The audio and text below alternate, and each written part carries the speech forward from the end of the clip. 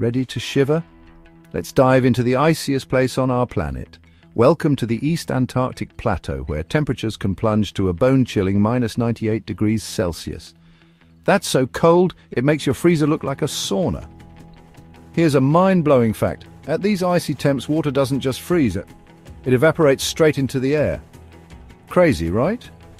Scientists discovered this frosty phenomenon using supercool satellites. They found that the super dry air and relentless winds make it nearly impossible for snow or ice to hang around.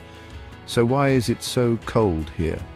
The plateau's high altitude and clear skies let heat escape into space, turning this place into a giant icebox. And get this, even Antarctica's summertime is no picnic. Uh, it's still freezing beyond belief. Exploring the East Antarctic Plateau is like visiting another planet. Extreme cold, mysterious ice, and science at its coolest. So next time you complain about winter, just remember, it could always be colder. Much, much colder. See, uh, stay warm, science fans.